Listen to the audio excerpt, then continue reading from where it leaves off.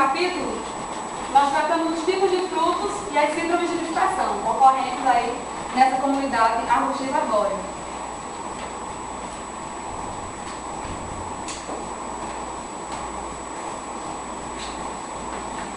Então, a síndrome de dispersão ela corresponde às adaptações estruturais que as plantas apresentam para dispersarem no meio ambiente. E a função dessas adaptações são de proteger as sementes e promover a dispersão em locais apropriados para germinação e sobrevivência, garantindo aí que a espécie perpetue no ambiente. O ciclo de dispersão, ou os tipos de fruto, foi caracterizar os tipos, a textura, se eram frutos secos ou carnosos, e a deiscência desses frutos, se eram deiscentes ou indeiscentes, além da síndrome de dispersão dessas espécies encontradas nessa comunidade aí da família Santa Maria da Larte. A área de estudo foi a mesma utilizada para o, é, a, o estudo da estrutura. Nós só utilizamos as espécies que foram encontradas nas unidades amostrais. E os dados também foram coletados para instruções mensais, para a coleta desse material botânico e observação sobre os frutos do período de outubro de 2009 a novembro de 2010. E, e, aí a gente se pergunta por que, que só as, o, as espécies que foram encontradas nas unidades amostrais. Como essas unidades amostrais elas eram visitadas mensalmente, ficaram mais fácil a observação desses frutos.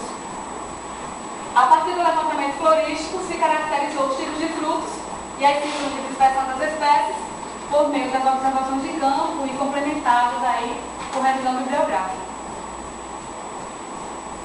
Os dados eles foram analisados de acordo com o SPJUT de 1994 sobre a tipificação dos frutos, se ele era baga, sâmara, caspédio, cápsula, drupa, esquizocarpo, folículo, aquém, legume. E as síndromes de dispersão elas também foram estudadas e classificadas de acordo com o PIRS 1982. E elas foram divididas em três categorias: anemocóricos, quando são dispersos pelo vento, zoocóricos, pelos animais, e autocóricos, quando são dispersos por mecanismos da, da própria planta. Então, com os dados levantados na área, identificou-se 67 espécies distribuídas aí em 33 famílias. 43 espécies desse total, pertencentes aí a 15 famílias, apresentaram frutos durante o período de estudo. Então a gente só enfocou esse trabalho de tipo de frutos, de dispersão, em cima dessas 43 espécies. Então a lista de espécies e famílias elas foram organizadas também em uma tabela onde continha as espécies e famílias em ordem alfabética, os tipos de frutos, textura, essência e dispersão. E as famílias que apresentaram maior riqueza florística para os tipos de frutos que se de dispersão foram leguminosas, com 12 espécies, euforbiaceae, com 8 espécies, anacardiaceae, 6 espécies, caparaceae, 3 espécies, e mitáceae, também com 3 espécies. Juntas, essas famílias representam 74,4% das espécies estudadas. Com relação aos tipos de frutos, foram observados oito tipos de frutos. O tipo legume foi o predominante, com 12 espécies, sendo representado aqui nas leguminosas, acontecendo nas 12 espécies leguminosas. O tipo drupa foi o segundo é, melhor representado, com 9 espécies, sendo bem distribuído ou bem destacado na família Anacardiaceae, com 4 espécies. O tipo esquizocarpo só apareceu na família Coquiaceae, com 7 espécies. O tipo cápsula, também com 7 espécies, ele foi melhor representado na família Rubiaceae. O tipo vaga, ele apresentou-se aí com cinco espécies, sendo melhor destacado na família Caparaceae, com duas espécies. O tipo folículo e sâmara, eles foram encontrados na família Anacardiaceae, com uma espécie cada um. E o tipo aquênio, também com uma espécie, foi representado ali na família Lamiaceae. E de acordo com as síndromes de dispersão, das 43 espécies estudadas, 25 apresentaram uma dispersão autocórica, por autocoria, por mecanismo da própria planta. 10, uma dispersão zoocórica e 8, uma dispersão anemocórica. Das 25 espécies autocóricas, 22 apresentaram frutos secos. A exemplo aí de Anadenanthra colubrina e Mimosa hostilis. Das espécies zoocóricas, todas elas apresentaram frutos carnosos. Exemplo de Eugênio tunisifolia e Visivus joazei. E todas as espécies anemocóricas apresentaram frutos secos. A exemplo do cedro, cedral aquecido. Então, a maioria das espécies estudadas apresentou frutos deiscentes e secos, e a autocoria foi a síndrome de dispersão dominante, o que caracteriza uma comunidade pioneira.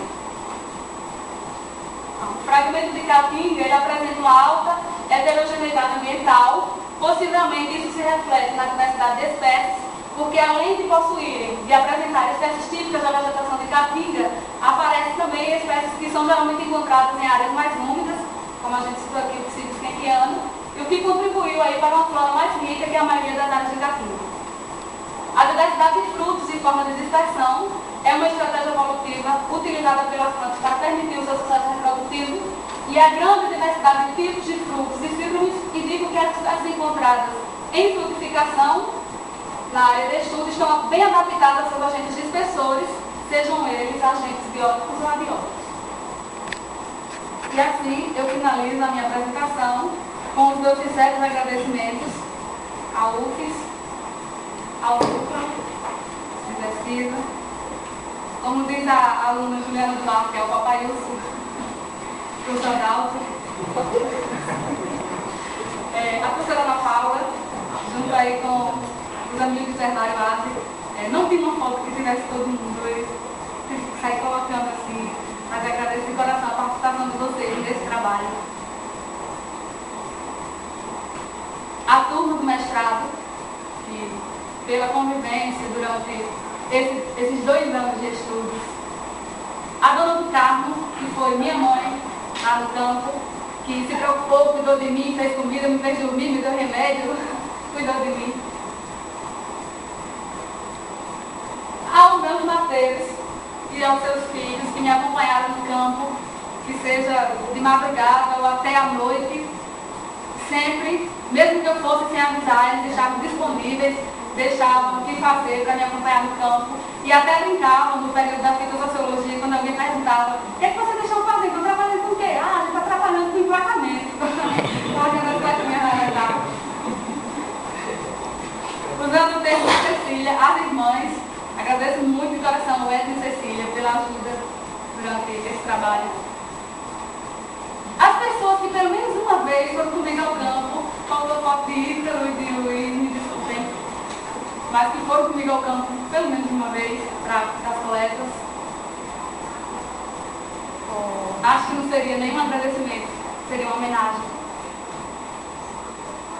Ah, a essas figuras que Deus me abençoou por ser mãe deles e eles entenderem a minha ausência durante os dois anos e essa fiel escudeira que cuidou deles durante esses dois anos. Minha mãe, mesmo querendo que ela não fosse, mas ela era tudo para mim, tudo, tudo, durante esse período de ausência. As minhas irmãs que me ligavam de domingo para dizer, a gente é irmã, viu? E iam lá para casa, almoçavam, jantavam, só faltava dormir. Eu perdi o domingo, porque eu não podia escrever, não podia estudar, não podia fazer nada. Tinha que dar atenção às irmãs. Aos meus amigos que vieram lá de Alagoas para prestigiar essa apresentação, principalmente meu amigo Inácio, que fez uma leitura aí do trabalho. O meu muito obrigada a